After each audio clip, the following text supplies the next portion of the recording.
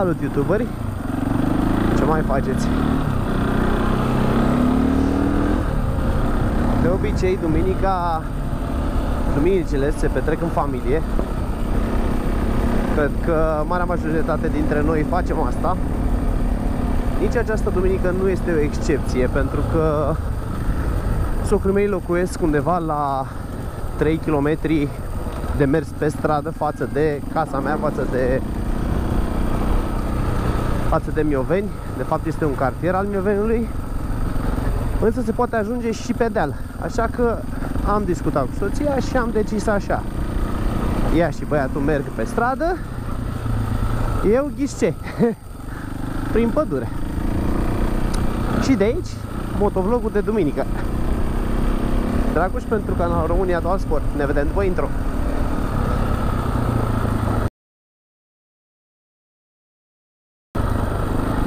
Așa. După cum vă spuneam, sunt uh, foarte, foarte norocos că locuiesc uh, în imediat apropierea unei păduri. Da, uitați-vă. Îmi ia de, de la poartă până la intrarea în pădure undeva la un minut, dacă mă grăbesc bine 40 de secunde și de aici sunt kilometri întregi zeci de kilometri întregi de uh, pădure, drumuri forestiere, livezi. E foarte frumos. Și de-aia m-am uh, hotărât ca duminica asta să merg uh, să merg la grătarul de duminică din familie cu motocicleta. Oh, ce vreau să vă spun Chiar în acest moment, acest video este făcut de fapt cu noua mea jucărie GoPro Hero 4 Silver. Să sperăm că, că va ieși bine. Să sperăm că se va auzi bine. Folosesc un adaptor Un adaptor audio Jack 3,5 mm de la GoPro. Deci e original, nu am jucat cu cu alt fel de chinezării. Bine, și asta tot o chinezărie, da. Cel puțin e o chinezărie pe care scrie GoPro. Uh, folosesc microfonul camerei Drift, care, așa cum ați văzut și pe celelalte videouri, este un microfon excelent. Să sperăm că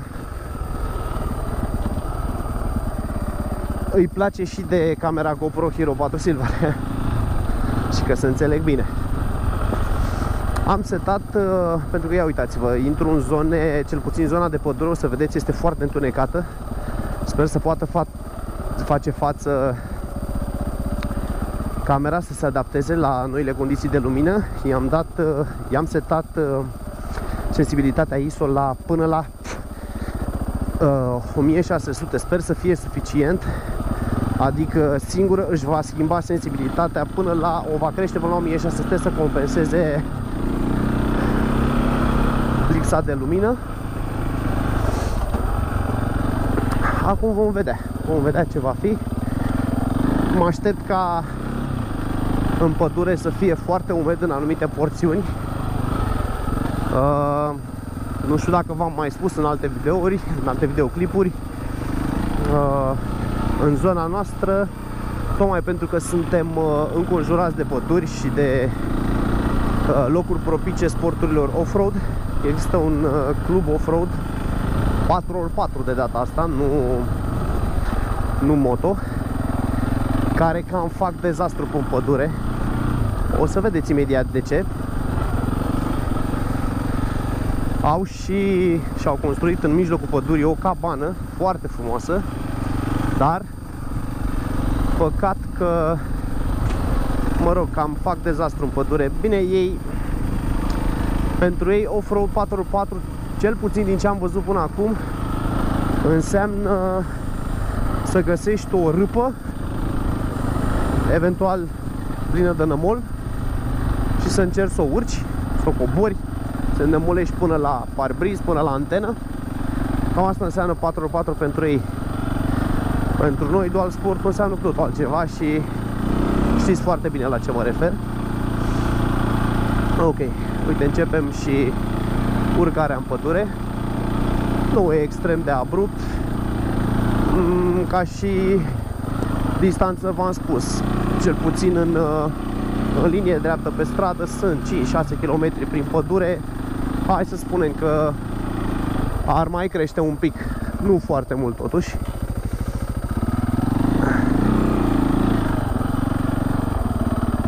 Sunt foarte aproape de ei.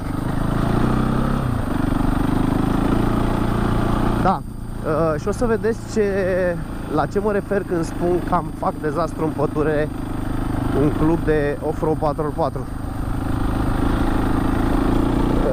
fac niște șleauri foarte, foarte adânci. Acele șleauri se umple rapid, rapid de apă. Și foarte greu se usucă te păcălesc, fac o crustă. uh, o crustă la suprafață care la prima vedere pare uscată, dar în momentul când intri cu motocicleta în ea acolo ai rămas Uh, da.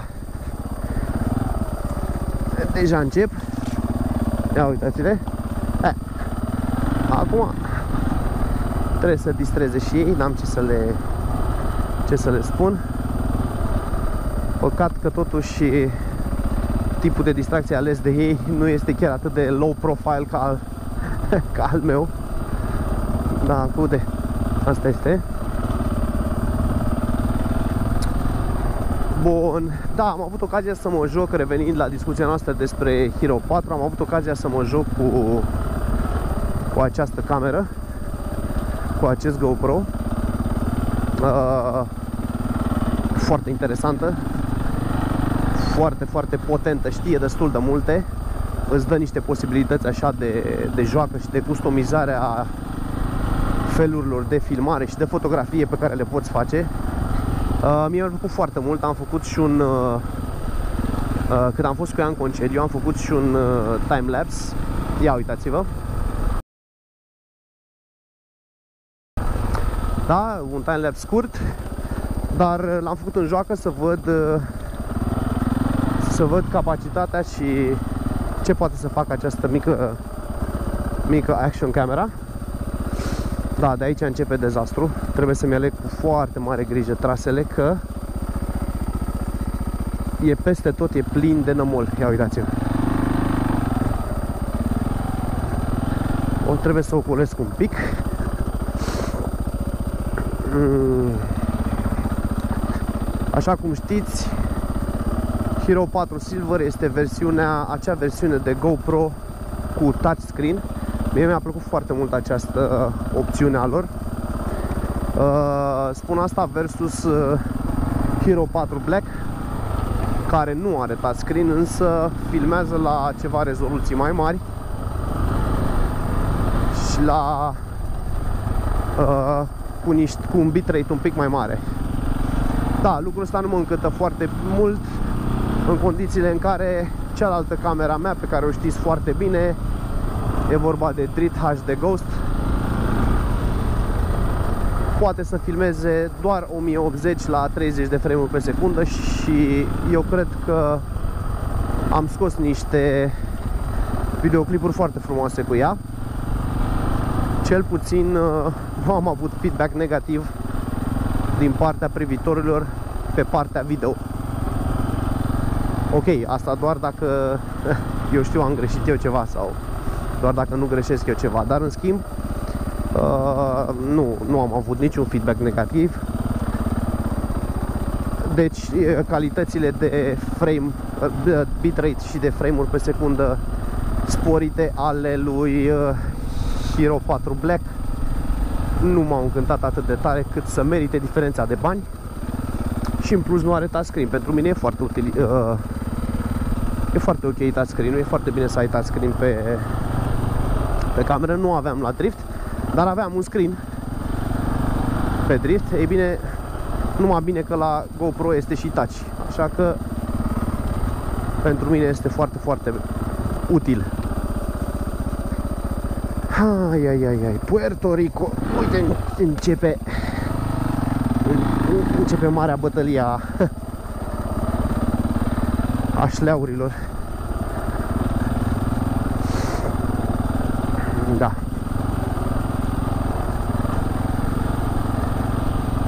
Ia uitați-vă. Uh, mi-aduc aminte foarte, foarte bine, pentru, tocmai pentru că e în vecinătatea casei mele această, această pădure. Mi-aduc aminte foarte bine atunci când eram mic, mic însemnând, uh, 8-9 ani. Mi-aduc aminte de această pădure și de drumurile forestiere, cărările ei. Nu avea nicio legătură ceea ce văd acum. Adică cred că dacă atunci eram în stare să călăresc o motocicletă off-road, uh, aici ai fi mers cu 100 la oră. Acum este extrem de greu să faci asta. E destul de distrus terenul. Da, de băieți ăștia care se joacă cu mașinile 4x4. Așa, și o să vedeți imediat și cabana, pentru că nu suntem foarte departe. Prin această pădure trece o, o gârlă, o mică gârlă, uh, care este, mă rog, se formează de la ploi și cam mai tot timpul anului curge ceva pe ea. Pe acolo o să trecem, mie îmi place foarte mult porțiunea asta. Da. Sunt extrem de curios cum uh, se va adapta camera la noile condiții de lumină. Da, uitați-vă ce vă spuneam de șleauri.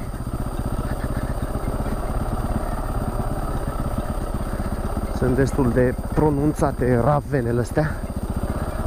Da, încercăm să le ocolim cu iscusință. Mai dăm drumul un pic la frâna de față, să ne redresăm. Foarte bine. Bun.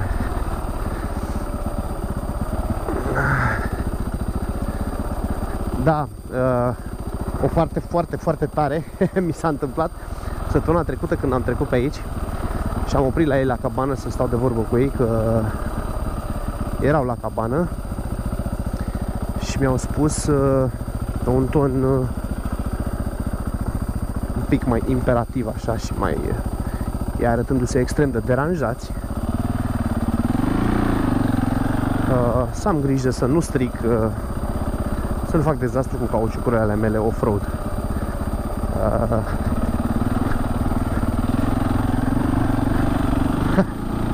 da no coment aici pentru că vedeți și voi ce au putut să facă ei cu cauciucurile lor ok, sper să fim ok, da, suntem bine. Ia uitați Deci este foarte greu ca zona pe unde trec ei cu mașinile, e foarte greu să se mai usucă, foarte greu să mai usucă. De-aia spun că e un pic de dezastru. Nu prea poți să te încumeți cu altceva pe aici. Afară de o motocicletă sau eu știu, poate un ATV foarte puternic.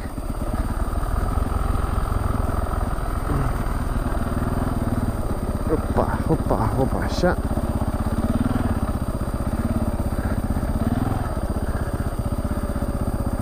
Da, suntem forțați să trecem prin porțiunea asta de gârlă, așa că să-i dăm bătaie.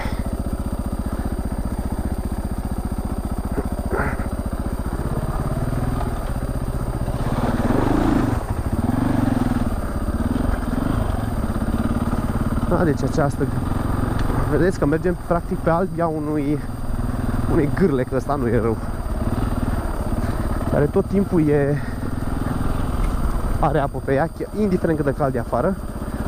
Atunci când plouă, efectiv e un râu. Uite, în dreapta ajungem către cabană, dar nu vreau să mergem acolo, n-am chef de astăzi. Așa că să ne continuăm traseul nostru.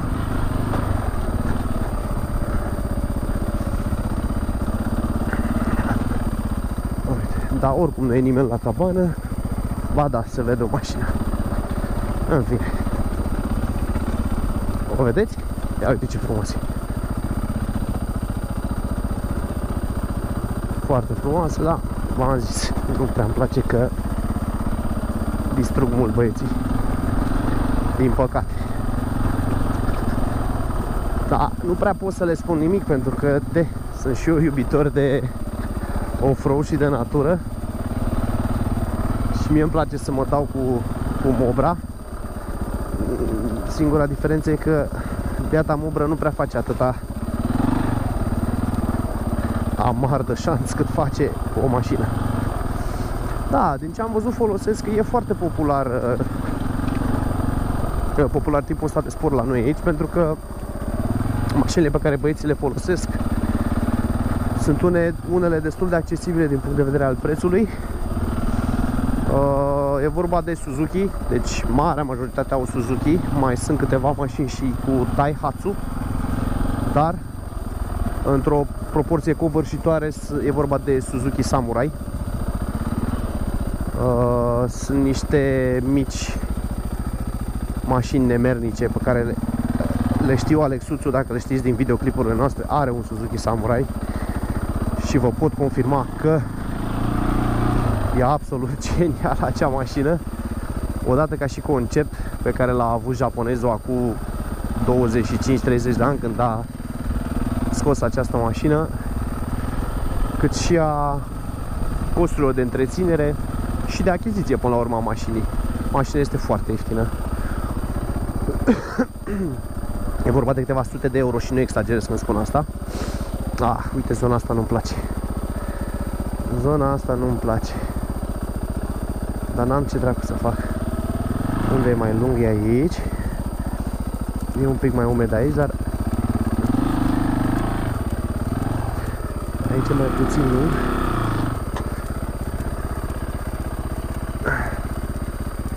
Mai să-mi fac picioare.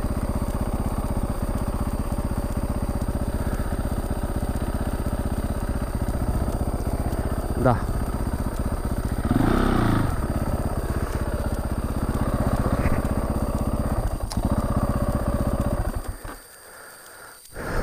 Trebuie gândiți destul de bine.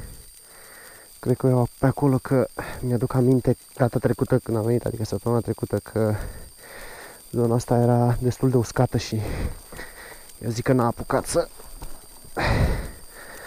să depună atât de mult mult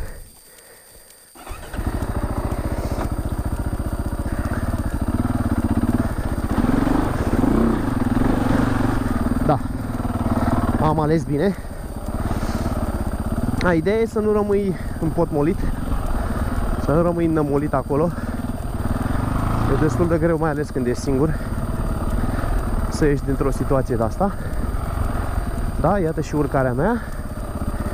Pe aici o să urcăm.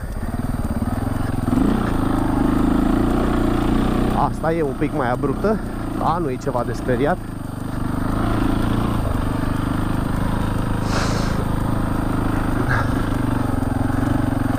Ia uitați-vă ce, ce fac băieței. Deci, da, deci foarte nasol ce fac băieții cu mașinile lor la pădure.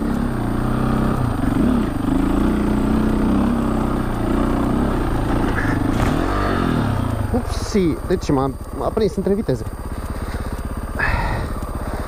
M-a prins pe liber.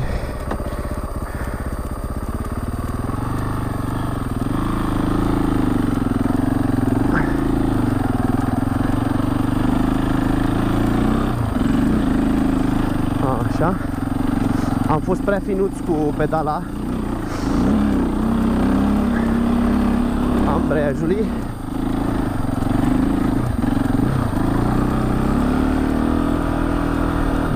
Și am nimerit între viteze pe neutral. Da. Ok, asta a fost urcarea. Acum este doar o serie de poteci și o coborâre, evident. pe care am ajuns. Așa. Uh, da, că mi-am adus aminte, am uh, atunci când am văzut, sau mă rog, când am uh, început să studiez despre GoPro și ce poate să facă GoPro, uh, am văzut că cei de la cei de la GoPro furnizează gratuit un software un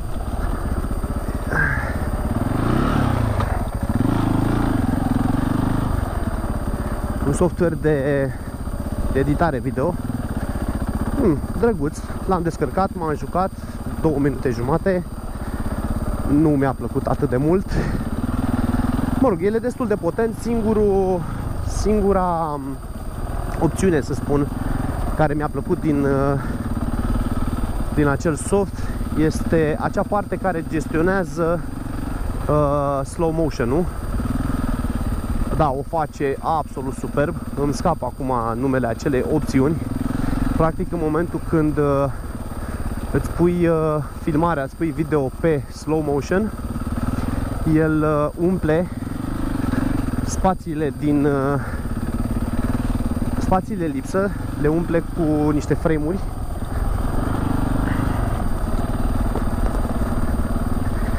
Și am văzut filmări încetinite până la 3%. E fantastic.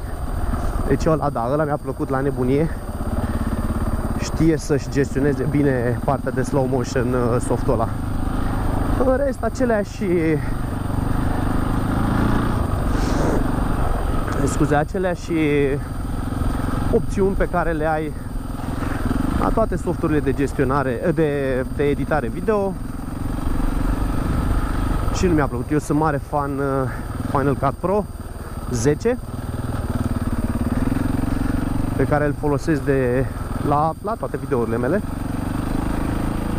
până să mă apuc de Final Cut Pro lucram cu iMovie bun și iMovie, dar uh, limitat. Final Cut Pro este foarte deștept, dar uh, trebuie ca și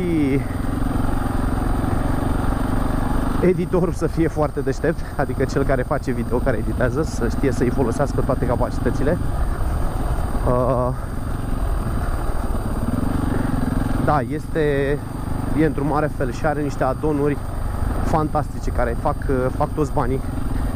Mă rog, se pot găsi și liber pe, pe torrente, dar pentru cine care, cei care sunt așa mai uh, ortodoxi în ceea ce privește achiziția de software, uh, acele adonuri pentru Final Cut Pro sunt absolut fenomenale.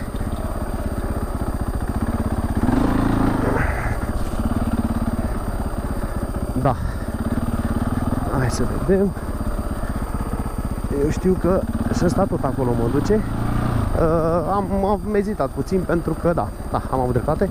Pentru că dată cât am luat pe partea asta, am făcut dreapta imediat acolo, dar știam că drumul ăsta tot acolo duce. Așa că, why not?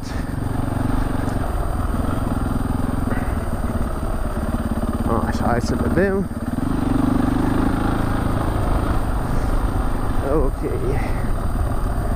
Astăzi am preferat să să plec așa foarte, foarte light îmbrăcat. Așa cum ați văzut, uh, așa cum știți, de fapt, de obicei, uh, nu mă joc în ceea ce privește echipamentul. Plec echipat uh, cu tot ce-mi trebuie la mine de data asta am plecat în tricou, pantalonii sunt de motor, fără genunchiere, ce să zic, e bine așa, dar ați văzut și voi merg foarte, foarte, foarte, foarte încet. Nu cred că se va întâmpla absolut nimic. Bineînțeles că de putut se poate întâmpla orice. Da. Acum nu forțez nici eu norocul și totul va fi bine. Mâinile în aer și strigă cu mine.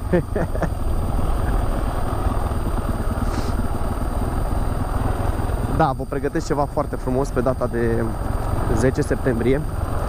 Inițial planul era pentru, pentru 3 septembrie, dar mă rog, din diverse motive băieții au schimbat data pe pentru data de 10 septembrie, lucru care nu mă deranjează deloc.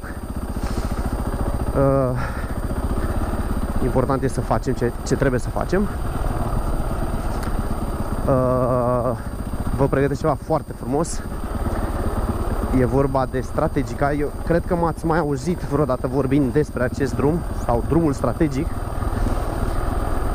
Uh, este al treilea an pe care, care, care mă poartă și mă duce acolo pe drumul strategic și ne-am hotărât, grupul nostru de prieteni, am hotărât ca uh, plimbarea pe strategica să fie un eveniment anual, să fie în fiecare an. De data asta am ales toamna. Uh, data de 10 septembrie, peste două săptămâni, în weekendul acela, vă promit că o să vedeți niște peisaje fantastice. Din punctul meu de vedere, acel drum este cel mai frumos, cel mai spectaculos drum off-road din țară. Uh, nu, nu mă schiez să spun asta pentru că am văzut destul de multe, mai am într-adevăr multe de văzut, însă acest drum Hai de mine, dragilor. O să, o să vă convingeți singuri ce fel de, ce fel de drum e ăsta. E fenomenal. Așadar, o să fim un grup de uh, 8 sau 9 motocicliști uh, mergând pe drumul strategic, da? Sau strategica. Ne apropiem de, de coborârea. Așa. Uh, motociclete adventure. Uh, motociclete precum a mea, s-ar putea să mai fie una cea lui Cornel. Acum nu știu cum, cu ce s-a hotărât Cornel să vină să se dea. Dacă se dă cu 990 sau cu 400-le dar KTM-uri vor fi.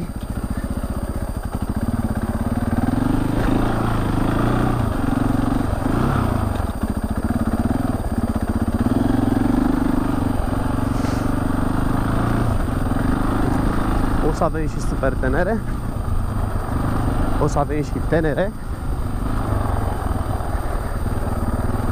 E, oricum, e un drum extrem de accesibil, am uitat să vă spun, e foarte, foarte accesibil oricine îl poate face. Uh, vreau să vă spun că pe acolo se merge foarte des și o să vedeți în filmări cu bicicleta, adică ai, ai, la asta mă refer când spun extrem de accesibil. Uh,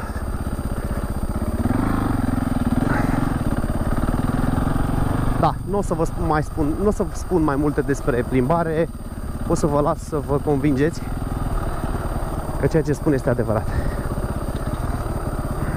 Ok, trecem pe lângă o căbănuță al unui vecin, al socrului meu.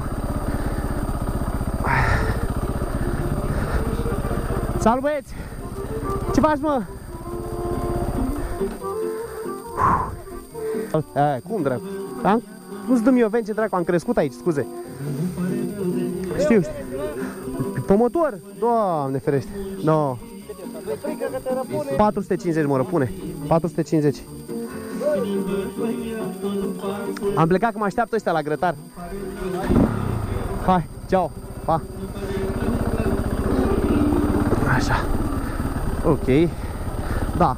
De fiecare dată când dau de o astfel de cabană, se găsește cât un băiat binevoitor să-mi ofere alcool. În speță sau de cel mai multe ori bere. Bă, fraților, nu faceți asta. Nu beți pe motor. Indiferent ce motor ați avea, scooter dacă aveți, nu beți pe motor, mânca stări. Asta dacă, dacă ține la viața voastră sau sau la viața sau măcar, mă, măcar vă interesează viața altora că două roți, două roți, micuți, dar să știți că și motocicleta poate ucide ea în sine. Dragilor, asta a fost plimbarea. Până data viitoare și motovlogul de duminică. Până data viitoare vă salută Dragoș pentru canalul România Dual Sport. Ceau băieți!